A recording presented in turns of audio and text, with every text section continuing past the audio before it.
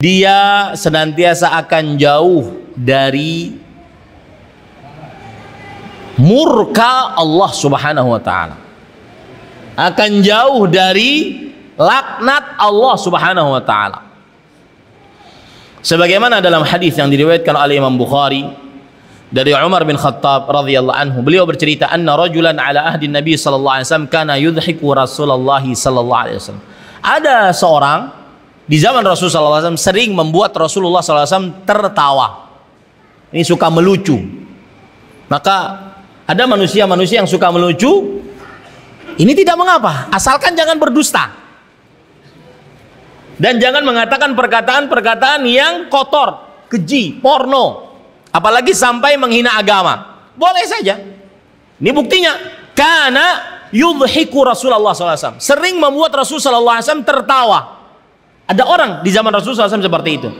Wa kana Nabi sallallahu alaihi wasallam qad jaladahu fi syarab.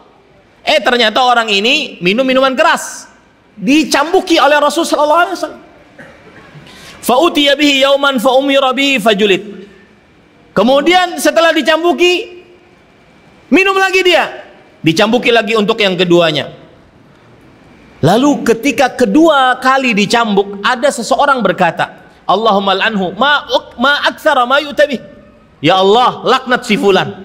Sering sekali dia melanggar agar tidak minum minuman keras, malah dia minum minuman keras. Tuh, buktinya dicambuk lagi, dicambuk lagi.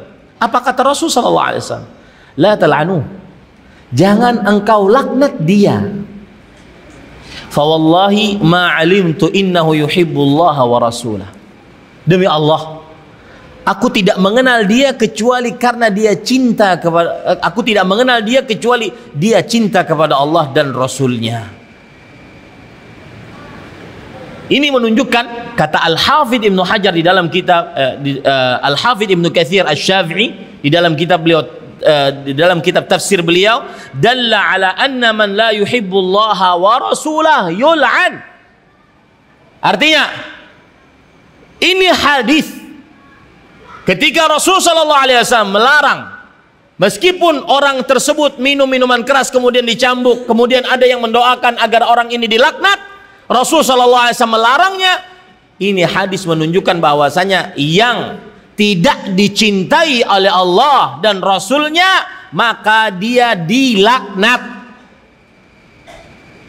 Pemahaman baliknya indahnya cinta Allah. Yang kelima berarti orang yang dicintai oleh Allah tidak akan dapat laknat Allah Subhanahu wa taala. Tidak akan dapat laknat Allah Subhanahu wa taala. Ini para ikhwan dirahmati oleh Allah Subhanahu wa taala.